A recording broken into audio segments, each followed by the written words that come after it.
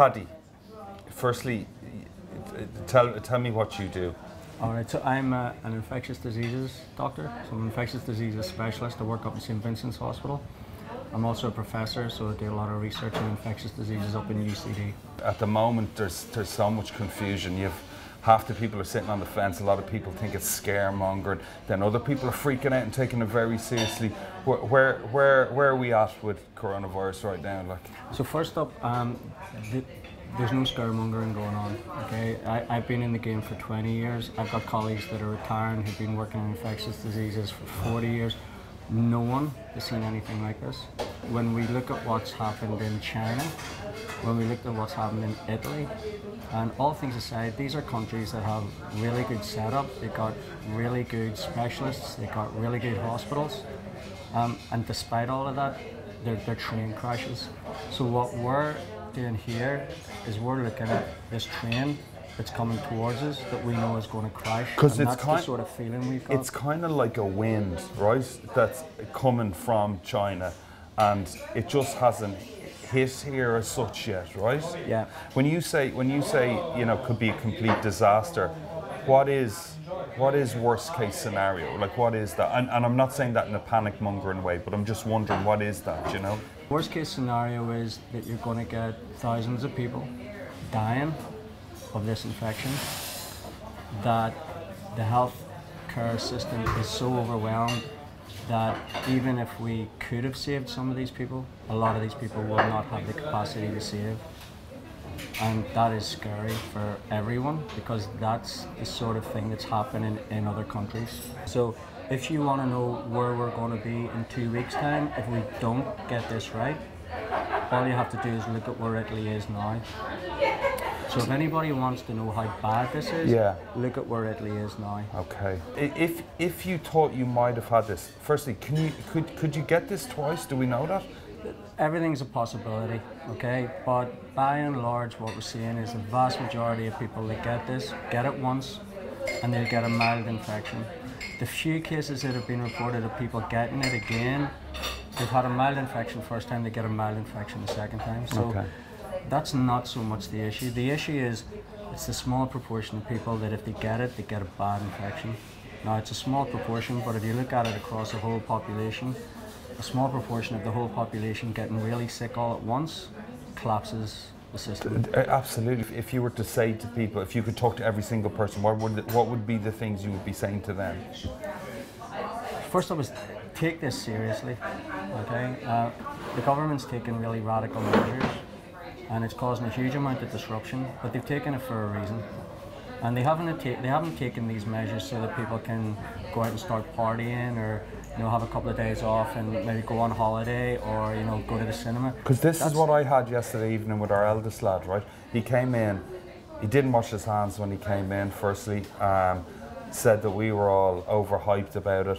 Um, was looking forward to a skiing trip to Austria that got cancelled today, thank fuck. And, but his attitude is just like, you know, this is all this is all scaremongering, this is all hype. you know the, the 21 and the 22 year olds Yeah. right is, is look around your family right and look around the older people in your family and say to yourself see if i don't get this right i might still be here in six months time but a few of them may not be Yeah. and that's what that's the, re- the grim reality you've got one chance at this See, this and if we don't get it right we, we can't go back and change it What about people like my, uh, like ourselves who have kind of older parents? Like, can I go visit my mum? Can I? Can I? Can I? How do I check on her? How do I keep her from being? So I'll tell you what I've what I've advised my parents to do. I've advised my parents to do social distancing. So my parents live in Donegal. Okay, now there's not a huge number of cases in Donegal, but I said to them, you know what, you cannot afford to get this infection. So staying in the house. If they go out, they go out for a walk along the beach, or they go out. None of my family are visiting them, but we're really close family, so we're keeping in touch a lot. But they're they're buying into this 100%. None of them are visiting no personal contact. If they're getting the shopping, they're getting the shopping delivered and they're taking it in from the front door. When they walk into the house from their walk, the first thing they do is they put their coat in one room, they wash their hands, and then they get on with the day. You see, I think as Irish people in particular, it's such a hard thing for us to do. Like if you go to, if you go to an Asian country and you say, I want you to wash your hands 25 times a day. I want you to go into your house. I don't want you to have any social contact and go into isolation. As a nation, they will go, okay, yeah, we'll do. Irish people, Okay, no, I'm not. I'm not. I don't want to generalize. Yeah, right? no, either I've do I, Come, but- I've just come having lunch with an Italian doctor, right? And I was saying to him, like, he was telling me what was going on in in Rome, okay, at the minute, right? In Rome, there's not that many cases in Rome. Um, they're allowed out to the supermarket. When they get to the supermarket, they're given an allotted time to go into the supermarket. They've got wait for it's like one person in, one person out. You know, like a nightclub type system. So there's not that many people in the supermarket. They're not allowed to go out for a run. They're not allowed to go out for a jog. If they're caught outside the house, unless they go into the supermarket or the pharmacy, they're fined. Right now, Baz, you know Italians.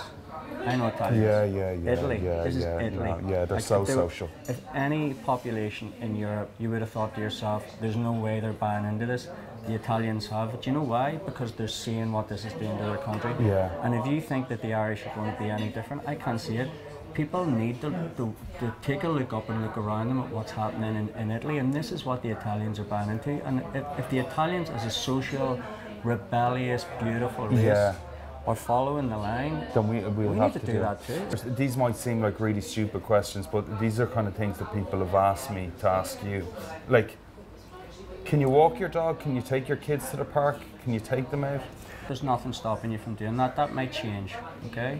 Because we're in a certain phase at the We're in a moment, certain right? phase, yeah. We're not in lockdown. What we have are these what are called non-pharmaceutical interventions. It's right? coming though, is it? So it's- There's a lockdown coming. This is going to be gradual, you know. Yeah. If we don't, if we get this right, then it's short-lived and not severe. If we don't get it right, it's just going to get worse and worse and worse.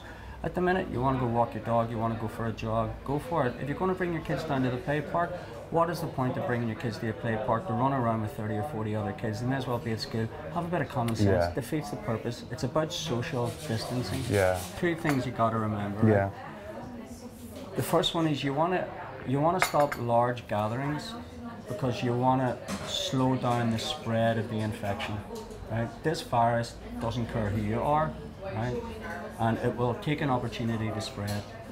The more inf- the, the faster that spread happens, the more chance there is it's going to impact older people and vulnerable people, and the more chance we're going to get overwhelmed. Children carry it but are, are uh, less affected by it. Is that so, right? So everybody's susceptible. Okay.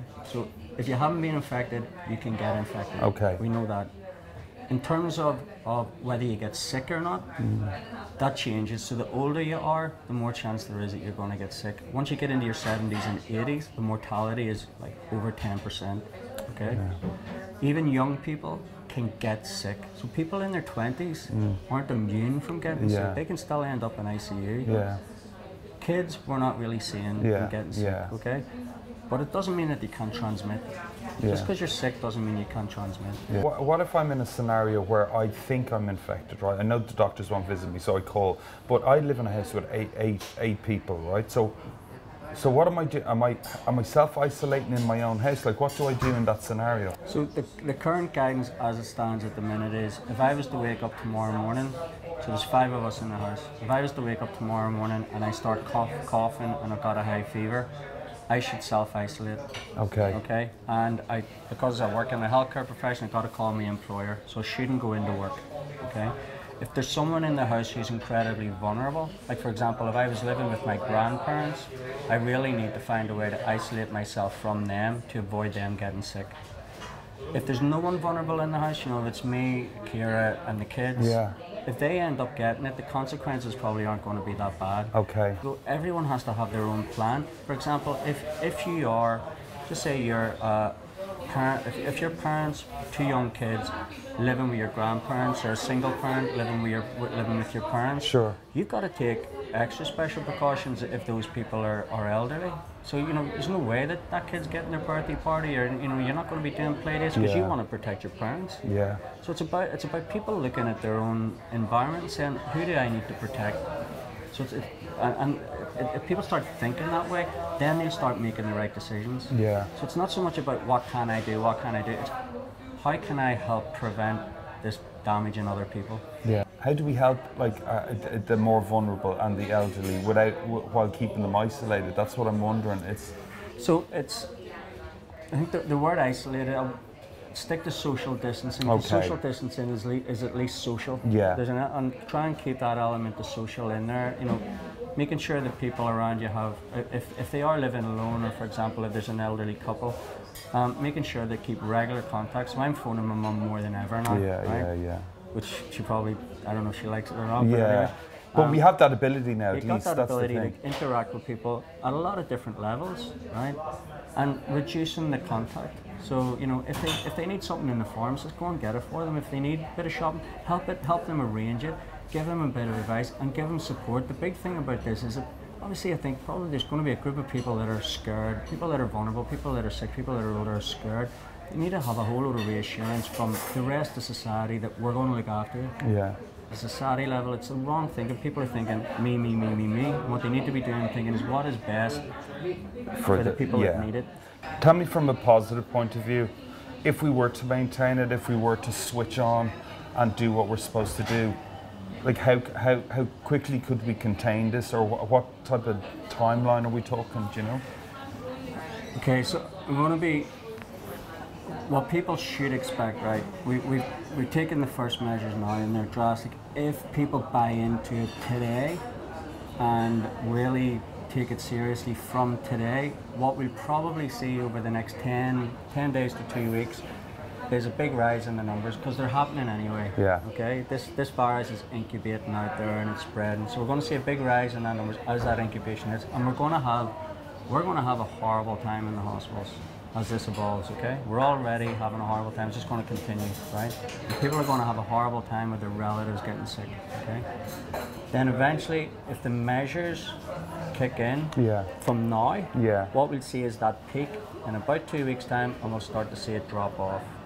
Okay, and once we see that cons- a, a consistent drop off, we will know that the measures that we're doing are working. Yeah, yeah, yeah. And that's that's your it's it's that it's that start of the drop off is where you're seeing the beginning of the end of this. As soon as you see that drop off, we know that we're coming out of this. How long that takes, I don't know. It could be very rapid, Hmm. or it could tail off for a few weeks. But at least everyone will know that we're coming out of it. If you were to wake up tomorrow with a cough and, and a fever, yeah. Do what everybody else does. Yeah. Stay at home, isolate yourself, and you know if within one or two to three days that fever settles and the cough settling, it's likely that you've had it and it's just edging away. Yeah, yeah, yeah. And then you can forget about Yeah, it. yeah. If you're getting sick, don't sit at home getting sick. Mm.